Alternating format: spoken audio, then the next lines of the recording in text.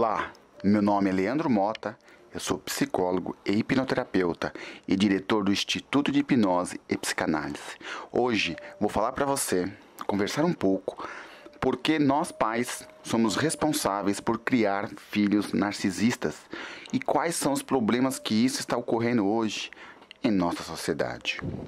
Atualmente, nossa sociedade favorece o individualismo e o progresso trabalhista e profissional à custa do esforço dos demais. Características como a segurança em si mesmo, a persuasão ou a competitividade constituem aspectos altamente valorizados hoje em dia. E se esses elementos dirigem-se a concepções de objetivos, a possibilidade de ser reforçados pela sociedade é muito elevada. Não importa que isso acarrete humilhação, menosprezo, supervalorização ou destruição de pessoas que não se adaptam ao estilo produtivo. Aqueles que não se adaptam ao estilo competitivo de nossa sociedade, seja como líderes ou como, como um apoio e alento dos líderes, acabarão sendo afastados da rota principal do sucesso. O estilo narcisista sabe utilizar essas tendências de nossa sociedade a seu favor e tirar proveito para progredir e avançar no terreno profissional. Muito tem se falado do narcisismo como uma das personalidades neuróticas de nosso tempo, muito frequente na sociedade ocidental, especialmente em determinadas profissões, como por exemplo, posso citar com toda certeza advogados, médicos, esportistas, políticos, professores de universidades e principalmente pessoas do showbiz, pessoas como apresentadores de televisões, pessoas que gostam de aparecer em eventos grandiosos de grande notoriedade. São pessoas com características da personalidade narcisista. Essas características configuram-se principalmente com uma confiança em si mesmo e senso da própria valia e torna os outros indivíduos sociáveis e seguros. Essa característica de auto-supervalorização, dizendo é como se eles soubessem a certeza que são os melhores entre a sociedade. Ele é o melhor entre a sociedade. Os outros são apenas os outros. É uma supervalorização, uma supervalia de si mesmo que se torna uma certa patologia psicológica. Por exemplo, Pessoas narcisistas acreditam em sua capacidade e pensam, acreditam que são extraordinários. Esperam ser tratados sempre bem pelos demais. São diretos para falar de suas conquistas, sabem negociar e se vender bem. São astutos para aproveitar os pontos fortes das pessoas que o rodeiam.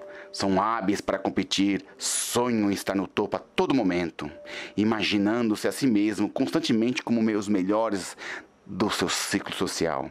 Sabem em cada momento como se sentem e qual é o seu estado de humor. Enfim, são afetados pelas. Contudo, devo fazer um aspas aqui para você. São afetados pelas críticas dos demais, mas sabem bem disseminá-las com elegância e características, mas são muito suscetíveis à baixa tolerância à frustração. Mas o que isso tem a ver com os pais? Bom, este é o ponto desse, deste vídeo. Os pais são, sim, responsáveis pela construção, hoje, disseminadora da personalidade narcisista. O que ocorre são as consequências futuras disso. A sociedade, muito embora competitiva, favorecendo o narcisismo, está adoecendo essas pessoas. Os traços narcisistas começam a se manifestar no final da adolescência e a partir dos mais ou menos dos 20 anos, em média, em um, em um aumento da idade e as limitações próprias do envelhecimento, constitui uma dificuldade acrescentada para quem sofre de um transtorno de personalidade narcisista. Essas pessoas dão um grande valor aos atributos de beleza também, força e juventude. Portanto, quando vão se envelhecendo, a dificuldade de lidar com o envelhecimento se torna patológico, causando uma depressão profunda, tentativas de suicídio. Portanto, como já disse para vocês anteriormente, eles podem ser muito mais vulneráveis à crise da meia-idade do que outras pessoas.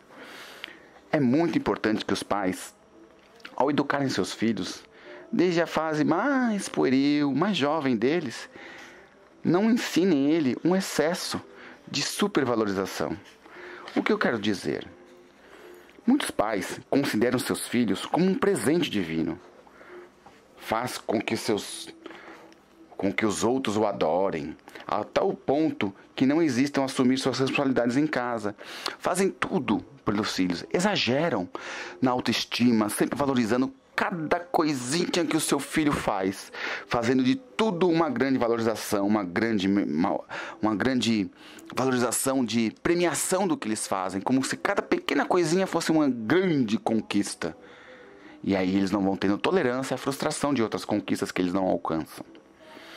Acabam se tornando malcriados, convencem-nos que, que eles são malcriados, mas podem ser melhores do que fazem, dizem. Sempre é perfeito. Essa criança sempre é criada com uma perfeição e diante de tais circunstâncias aprende que é especial e superior. É um erro de um pai, de uma mãe, ao criar um filho como exageradamente especial e superior. O que acontece?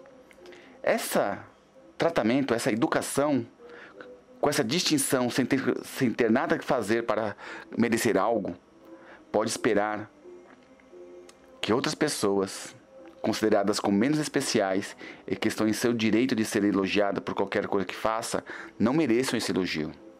Quando crescem na vida adulta, não suportam que outra pessoa seja mais elogiada que ela. E aí vem o processo de irritabilidade, de destruição do outro e de si mesmo. Essas crianças frequentemente generalizam essa aprendizagem em outros ambientes fora da família, esperando todos esses comportamentos complementares, complacentes das outras pessoas com as quais vão se relacionando no seu cotidiano, tornando-se extremamente egoístas e narcisistas em expressões de amor e emoções. Então, pai, cuidado você, ao supervalorizar o seu filho, mimar ele, você está mimando demais e criando uma pessoa narcisista. E isso pode causar transtornos na personalidade futura do seu filho. Ao desenvolver essa personalidade narcisista nesses indivíduos, você, pai, você, mãe, é o responsável. Vamos falar mais disso em outro e próximo vídeo.